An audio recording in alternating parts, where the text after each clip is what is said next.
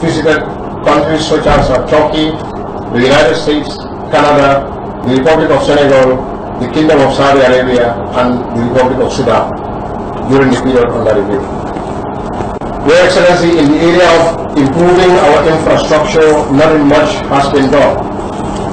We, are only able to uh, carry out some renovation work at our clinics, and of course some accommodation facilities at Yundum Barracks to house the Nigerian contingent. But I will give you the reason why, Your Excellency, not much has been done at this front. Your Excellency, one of the areas of our constraint is the insufficient budgetary allocation. It is true that the budgetary allocations are generally inadequate compared to the request of the, budget, the budgeters.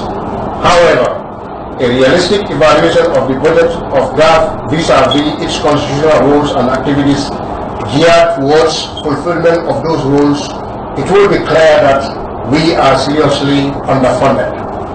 Furthermore, as part of the the the under-budgeting of budgetary allocations, the unrealistic nature in which cash allocations are rationed out to ministries, departments and agencies by the Ministry of Finance, it makes budgetary execution difficult and frustrating.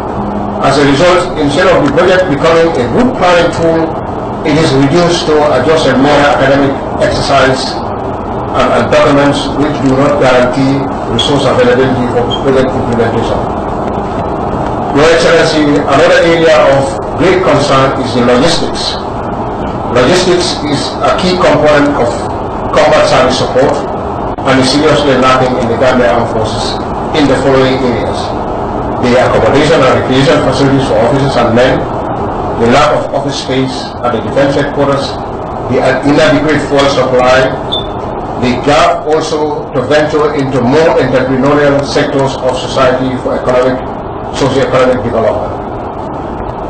In the maritime area, Your Excellency, there is a lack of maritime platforms and other assets, especially for search and rescue operations and coastal surveillance.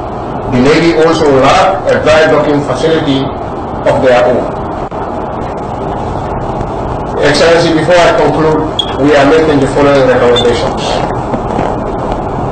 Excellency, the Gambia government should provide adequate project support for the Gambia Armed Forces.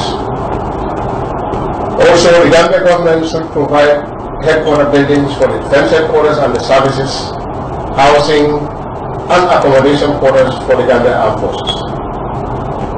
The Gambia government should provide logistic requirements for the Gambia Armed Forces in the area of fuel supply, in the area of our vehicles, uniforms, and operational gear. The government should also assist the Gambia Armed Forces to acquire the necessary logistics to increase our peacekeeping capacity.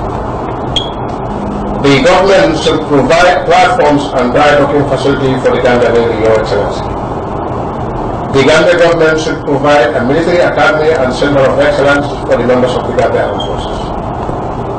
With those few remarks, Your Excellency, distinguished invited guests, ladies and gentlemen, I thank you for your loud attention and once again thank His Excellency and Commander-in-Chief for taking time out of his very busy schedule to host us. May God bless the Republic of Iran.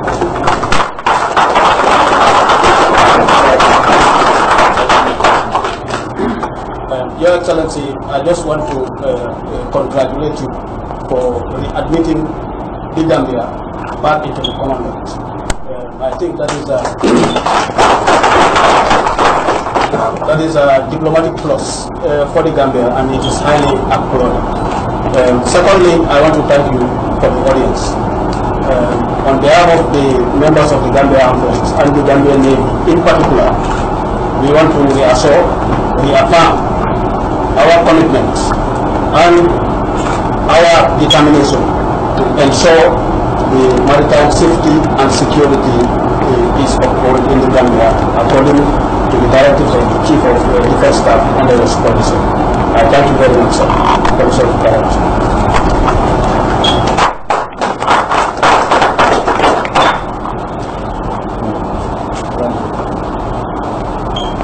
Thank you very much, Your Excellency, the Chief of Defense Staff, members of the esteemed gathering, I just want to echo words of the Chief of Defense Staff and General Senghor to confirm and to assure Your Excellency that the new armed forces, like the new Republic of the Gambia, is a different thing.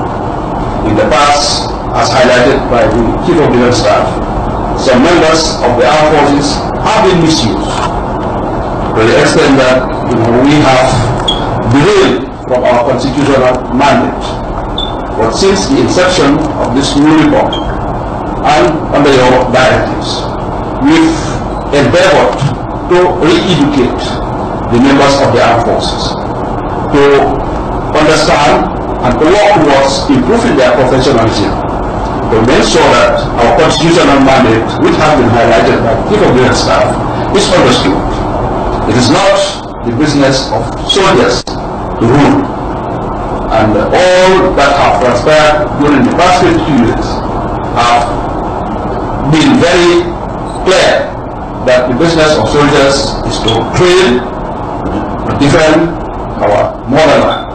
And it is on that endeavor that we are now embarking on. However, Your Excellency, we would like you to support the armed forces because an armed forces that doesn't have adequate platforms, as highlighted by the Chief of Defense Staff, in the forms of equipments, you know, will not be able to function. As highlighted also, it is the uh, thinking of the command to increase our participation in international peacekeeping. Peacekeeping is not only an enterprise, but is also a source of income for both the soldiers and the government. Because once we are deployed in larger numbers in international peacekeeping, we will be able to generate funds that can be used to re-equip the army by the necessary platforms without burdening the government budgetary allocation. And at the same time, it will engage the soldiers effectively and meaningfully with some hope that their lives will be improved. And this will ensure that the discipline and professionalism that we are talking about and that we want to build in this army will be achieved. I know that enough has been articulated, but I want to assure you, Your Excellency, that the Gambia Armed Forces now is totally dedicated to the democratic dispensation and we will continue to render our loyalty and support to you, to the Gambian people. Thank you very much, Your Excellency. Your Excellency, the Gambia Armed Forces is a ready-made that is available and very professional to be able to uplift the hopes and aspirations of Gambians. We can achieve this as he has highlighted in the aid to civil sector. Gambia Armed Forces contribution in the international arena as a force of peacekeeping opportunities and operations will help to boost our morals. However, even internally also, like you said, our participation into agriculture, our participation into civil engineering aspect, that will also help to encourage and build the professional capacities of individuals. We also have sports. This is also a forum to collect and nurture national talents because the army belongs to a wider family which can have a lot of opportunities to be able to bring on board a lot of sporting activities, to be able to create not only an opportunity for employment, but also to increase our national talents. This will help us to be able to nurture and then bring the peace and unity that the nation stands for. The army is not only for operations. It has too much of other aspects like in the areas of sports, in the areas of agriculture, in the areas of civil engineering. We are giving you our assurance and then hope that the army is what the whole Gambia wants and this is what you want. It is completely a very, very secure. Every Gambian officer you look at, we are willing to give our best to the defense and security of this country. So on behalf of the entire membership, I add my voice to the Chief of Defense Staff. We are rally our support and sincerity and honesty to him and to you to ensure that the members of the Gambia Armed Forces are definitely a force that you can rely upon. Our honesty and sincerity have been demonstrated and will continue to be demonstrated. We will never wish to disappoint you or to the nation. And on that short, I thank you very much for giving us this rare opportunity to come here and see with you. This motivates us too much. Because every soldier, when you meet your commander, you are highly motivated. Now bringing us closer to you, you have bring us back to you. Because we have been like, are we part of it? Now that we have come face to face with you and sitting and chatting, you have given us, hey, you are part of it. And sir, I take permissions and I am part of the system and then we are all grateful. And once again, congratulations on your numerous achievements. Thank you, sir.